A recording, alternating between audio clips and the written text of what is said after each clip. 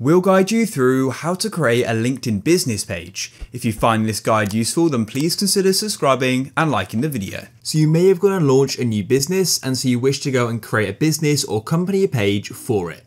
So all you need to do is firstly come to LinkedIn and sign into your account and then go to the top right and go and click on the for business option in the navigation bar and come down this section to the bottom to where it says create a company.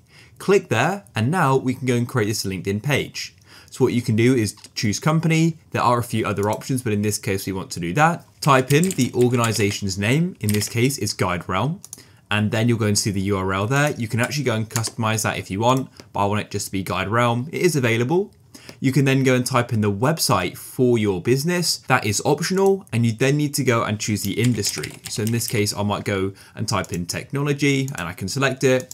You can then choose the organization size and then the organization type. I've now added the rest, which is a logo and a tagline. And then when you're ready, you can go and click on create page in the bottom. And just like that, you've now gone and created your page and you can go and start posting as the business. It's super useful.